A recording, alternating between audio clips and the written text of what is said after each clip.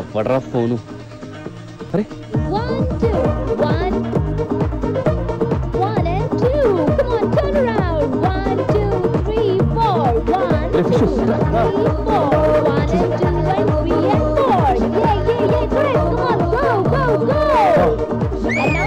on,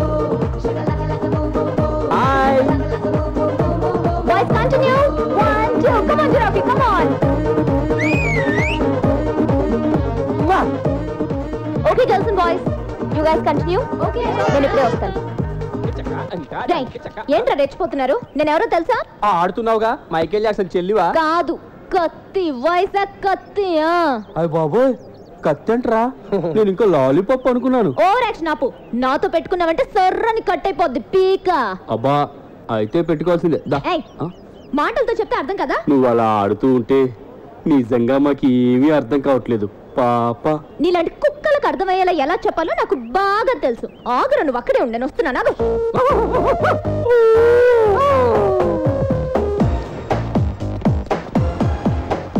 అమ్మా వద్దమ్మా వాళ్ళు అసలే శంకర్ బాబాయ్ మనుషులు. పొట్టి రౌడీ విధవలు వాళ్ళ జోలికి పోవద్దమ్మా. ఆంటీ వీళ్ళు ఇళ్ళకే వదిలేస్తే ఎవరిని ప్రశాంతంగా బతకనివ్వరు? చెప్తా నా మాట వినమ్మా. నీలో శంకర్ గాడంటే ఎవడ్డు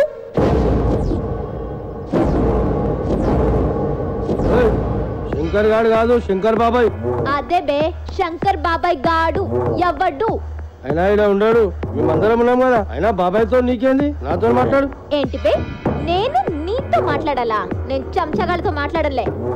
చెప్పు ఎక్కడ? కొత్తపేట షేక్పేట దూల్పేట అమీర్పేట గడ్డిపేట ఎక్కడ? ఎక్కడ బే ఆ శంకర్ ఉండేది? పోనీ ఫోన్ నెంబర్ ఏమన్నా ఉందా వాడికి? ఏం మాట్లాడుతుందా నా పోరి? ధమాక్ ఖరాబ్ అవుతుంది. ఏయ్ ఏంట్రా ఫోన్ నెంబర్ అడిగితే మాట్లాడవో? రేయ్ ఊరి ఆగలేకపోతుంది బాబాయ్ నెంబర్ చెప్పు అలా బాయ్ పర్లేదు చెప్పరా యహే ఇదేనా ఇదేనా వీడొకడు ఏరా, ఆడి పని అయిపోయిందా ఆడి పని కాదురా. నాతో పెట్టుకుంటే నీ పని అయిపోతాయి ఏయ్ ఎవరు మాట్లాడేది? రేయ్ కత్తి కత్తిన్రా వైజాగ్ కత్తిన్రా నేను. అట్టి పని గుర్తేం కాదు?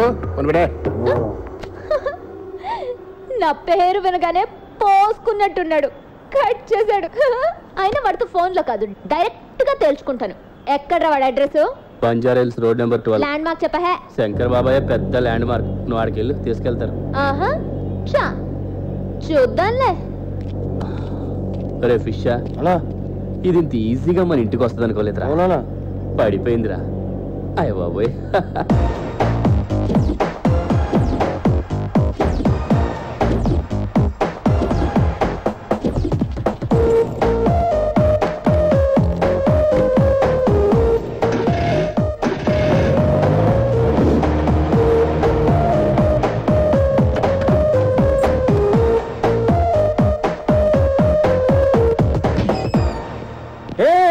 అదాదు శంకర్ అంటే నువ్వేనా? తప్పహే. అమ్మాయి అమ్మాయి. ఆ పండిట్ గారు ఏదో కోటి రూపాయలు ఎక్కువ ఇస్తున్నాడు కదా అని నాకు రివర్స్ అవ్వక హోమో. హోమం అయిపోతావు. నేను పండిట్ గారి దగ్గర కోటి రూపాయలు కాదు కదా ఐదు పైసలు కూడా తీసుకోలేదు. నన్ను నమ్మండి సార్. శంకర్ అంటే నువ్వేనా? అసలు నీకు బుద్ధుందా? ఓ నలుగురిని వెనకేసుకుని తిరిగితే పేద రౌడీ అయిపోతావా? నేనెవరో తెలుసా?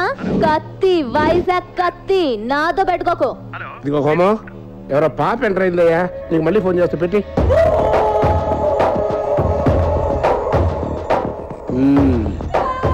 అమ్మా ఒక పక్క శివు ఫోన్తో బిజీగా ఉంది.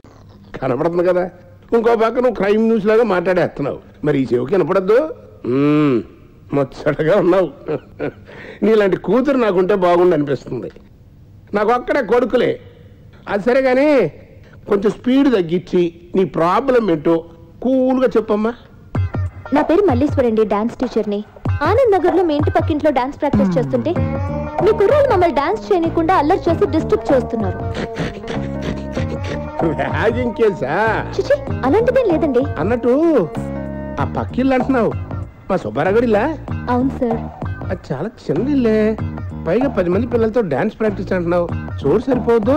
అది ఛానల్ వాళ్ళు. సరే సర్లే. ఎన్ని రోజులు ఉంటున్నా? రేపు సెమీఫైనల్ సార్. గెలిస్తే చిచి గెలిస్తే ఏంటి? డెఫినెట్గా మేమే గెలుస్తాం. ఇంకో టెన్ డేస్లో ఫైనల్ సార్. ఏమైతే? ఆ సుబ్బారావు కూడా కొంపేం సరిపోద్ది కానీ ఆ పక్కిల్లు చాలా పెద్దది. మీ ప్రాక్టీస్ సరిగ్గా సరిపోద్ది అందులో ఉండండి. సార్. ఏంటి అక్కడ చూస్తున్నా? అది మన ఇల్లే. నువ్వు ఆ పిల్లలతో గంతులేయడానికి కరెక్ట్గా సరిపోద్ది. ఎల్లో.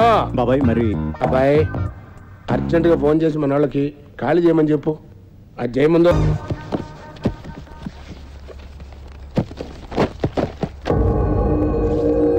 అక్క ఈ ఫోటోలో ఉన్న వ్యక్తిని ఎక్కడో చూసినట్లేదు. ఆ గుర్తొచ్చింది. అదే అక్క ఆ రోజు బస్లో వచ్చేటప్పుడు పేపర్లో చదివామి టెన్ రోజు పార్టీ.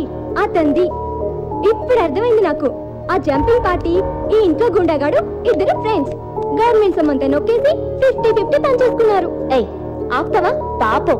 ఆయన నన్ను కూతుర్లా ఫీల్ అయిపోయి అంత చిన్నింట్లో ఏం ప్రాక్టీస్ చేస్తారు?